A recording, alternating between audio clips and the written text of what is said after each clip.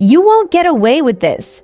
In the heart of Los Santos, a reckless criminal has ignited a furious chase, pushing the police to their limits. Calling all units. Suspect heading west on Grove Street. With sirens blaring and tires screeching, the police are determined to bring this criminal to justice. Freeze, you're under arrest. Criminal, not O'Day. But this criminal is relentless, weaving through traffic, leaving chaos in their wake. Backup, I need backup on Little Bighorn Avenue. The criminal's driving skills rival any stuntman, evading capture at every turn. He's too fast. We can't keep up. The pursuit intensifies. As helicopters join the chase, shining their spotlights on the chaotic scene below.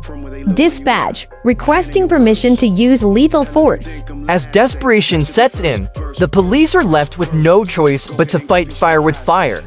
Shots fired, criminal. You'll never take me alive. Bullets fly, intensifying the danger, but the criminal remains determined to escape their fate.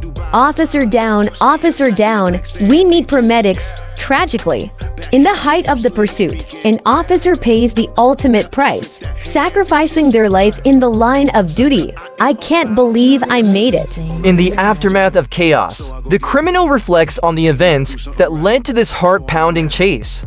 I may have escaped this time, but the price was high.